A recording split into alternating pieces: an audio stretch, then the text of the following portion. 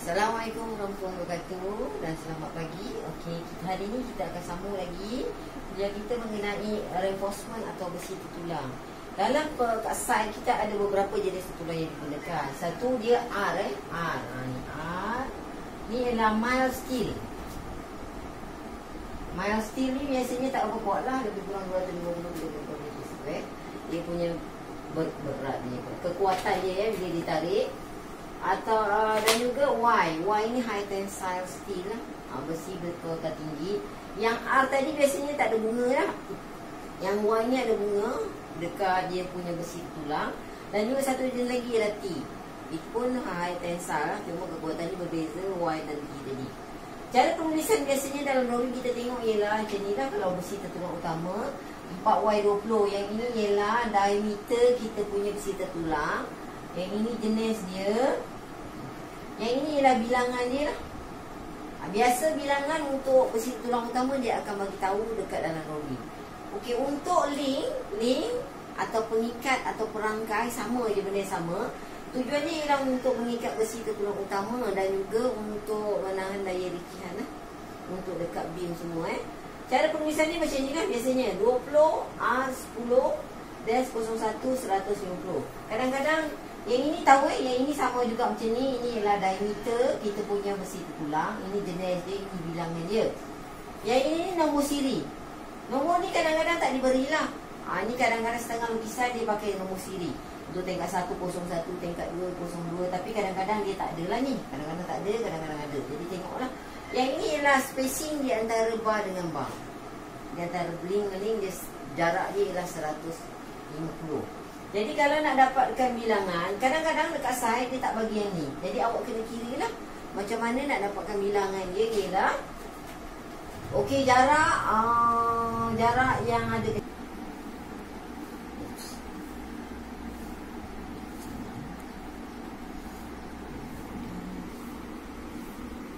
Okey, ni saya nak awak faham dulu lukisan ini sebelum buat kiraan sebab ni kalau tak faham lukisan awak tak boleh nak kira tak boleh nak bayangkan apa yang awak kira. Jadi tak nak eh kita tak nak macam tu. Kena faham lukisan baru boleh buat kiraan untuk asas pet. Ni pelan ya. Okey ni ialah uh, kita punya panjang lebar. Tengok ya y 16 150 dia tak bagi bilangan dia. Jadi awak kena buat apa Awak kena kira bilangan dia untuk dapatkan berapa saiz, berapa bilangan tertulang ni. Cara dia ialah, kalau tengok ni, ni ialah plan dia. Yang ini ialah cross section untuk kita punya uh, lukisan lah, untuk lukisan besi tertulang. Eh. Tebal dia, kita punya paper 300, 300 kat sini. Kita ada spacer block kat sini. Eh. Spacer block ni tujuan dia ialah supaya besi ni tak tersentuh dengan forward kita jadi besi ni tak terdedah dengan uh, anasi-anasi luar lah terutamanya air. Jadi dia tak kena air. Kita letakkan spacer block kat tepi sini kat atas ni kat bawah sini pun kita letakkan juga lah ni. Kat sini 50 biasanya dalam drawing dia akan bagi tahulah berapa ketebalan spacer block untuk struktur tersebut. Dia lain lah lantai lain uh, foundation pun lain. Biasanya foundation ni lebih tebal daripada uh, dekat lantai lah Okey, cara dia ni boleh faham ke tak boleh faham ni? Tengok yang ni saya dah letakkan 50 dekat sini, 50 kat sini, 50 kat sini dan juga 50 kat sini. Jadi kena tolak lah untuk dapatkan dia punya length uh, panjang besi ni. Ni kena perlu awak tahu sebab bila kat side nanti awak nak arahkan kepala besi untuk uh, buat kiraan uh, potong eh, nak potong besi berapa panjang. Ha, jadi kena tahu jugalah kiraan ni kat sini.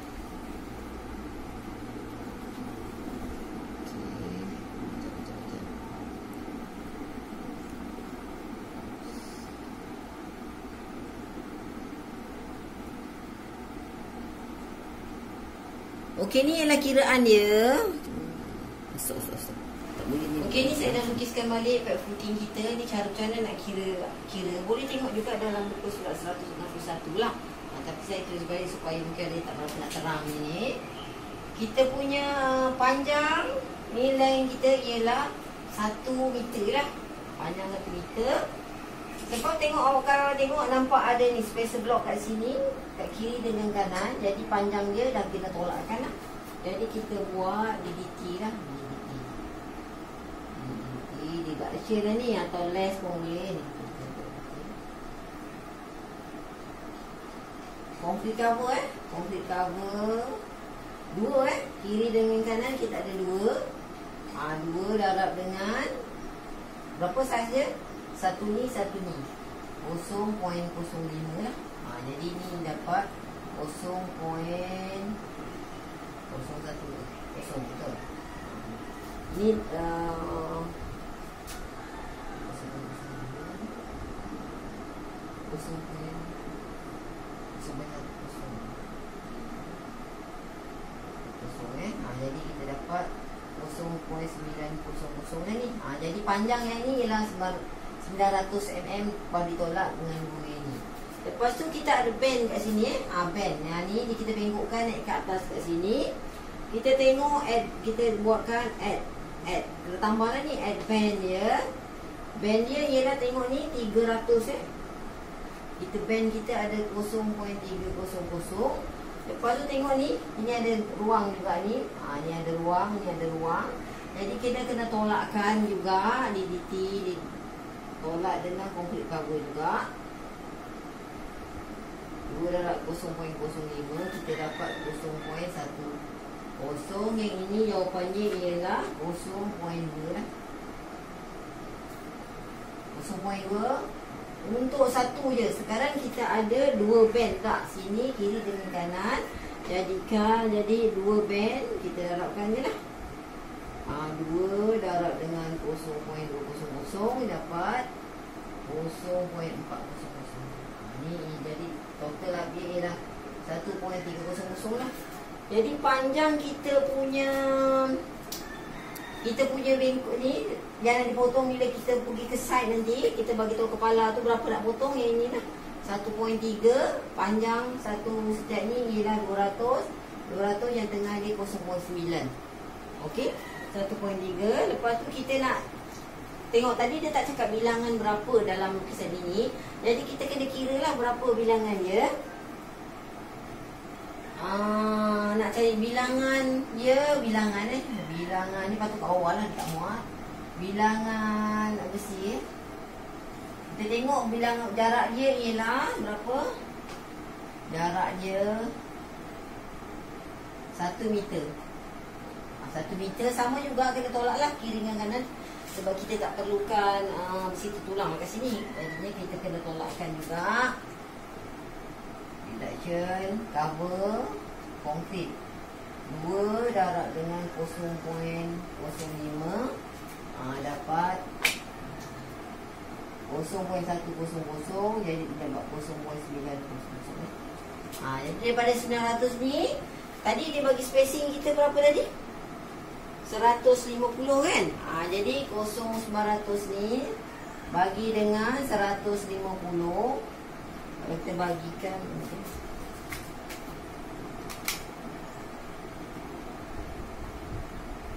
sembilan ratus bagi seratus puluh. Kita dapat enam. Ni jadikan kena bila enam kita kena tambah satu lah kat sini.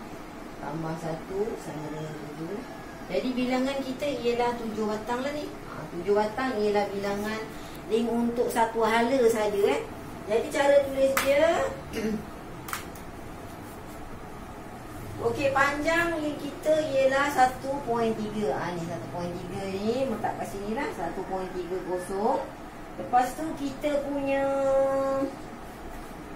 uh, bilangan uh, asas spek kita ialah 4 dan bila luar. Lepas tu kita tadi dapat 7 kan? 7 ni ialah kat sini. Jadi ada yang hala ke sana pula. Jadi 14 ni. 14 Okey 14 sebab satu um, Kali sini satu ke sana ha, Ke sana eh ha, Jadi ada 14 batang ha, Darabkan Campurkan je lah kat sini 4720. Ha, ni kita tulis. Besi jenis apa? Y16 for apa? Ha, kena letak lah. Tak apa benda eh. Ha, kena nyatakan kat sini. Ha, ni maknanya cara penulisannya. Untuk uh, besi tertulang bagi asas pet. Ini ialah gambar besi tertulang yang digunakan untuk asas lah ni. Ha, ni saya cakap tadi ada dua kan tujuh batang. Kiri ala paksi X paksi Y ni yang dia dah siapkan lah. Dia biasanya yang ni dia buat dekat side lepas tu dia tinggal masukkan je dalam awak punya formwork tadi eh. Ini kira dia yang kita kira berapa batang ni. Itu satu, dua, tiga, empat, lima. Ah kebetulan ni sama tujuh juga. Mana ini inilah asal uh, besi tulang yang sesuai untuk kita punya asal. Ini spacer block yang saya cakap tadi. Ini spacer block. Spacer block ni diletakkan uh, di tempat uh, dia biasanya dia ikat lah dekat sini. Uh, dekat awak punya besi ni. Supaya bila konkrit nanti besi ni terlindung daripada terdedah kepada udara lah. Okey, yang ini uh, pengikiran untuk besi uh, stam. Jadi yang ni sebab saya dah bagi contoh spek puting. Awak boleh tengoklah cara perkiraannya dalam muka surat 191 untuk pack footing. Yang ni penutup konkrit saya tunjukkan kedudukan dia. Eh. Ini penutup konkrit untuk stam. Jadi untuk yang lain punya biasanya macam ni dia akan letakkan kat sini. Dia akan ikat, dia ada pengikat dia lah dekat dekat uh, spacer block tadi. Ataupun dekat side orang panggil tahu.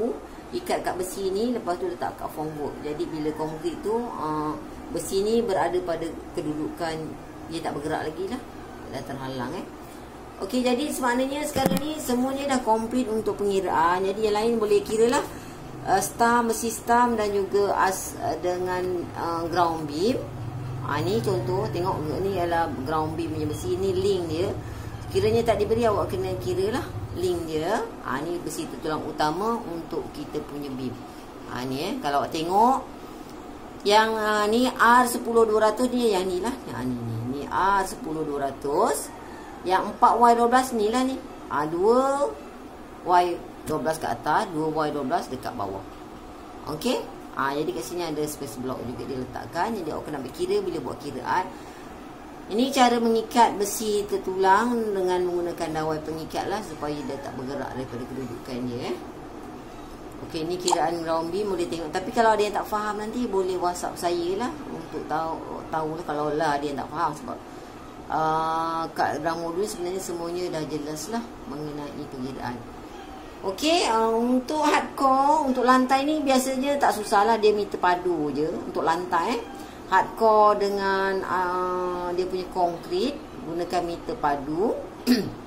boleh kira juga L, LKL ataupun lapisan kali lembab ataupun DPM. Uh, boleh juga kira untuk kita punya tu uh, kita punya uh, tutorial awak kena kira lah uh, jadi uh, untuk pengiraan maknanya semua dah siap uh, minggu berikutnya saya akan ajarkan macam mana nak buat abstract paper untuk menghasilkan senarai kuantiti uh, nak ingatkan lagi mengenai tugasan uh, tugasan uh, tugasan projek eh sekarang ni sebenarnya semua orang dah boleh mula buat projek lah. Ha, projek saya dah bagi dalam muka surat. Mana ni?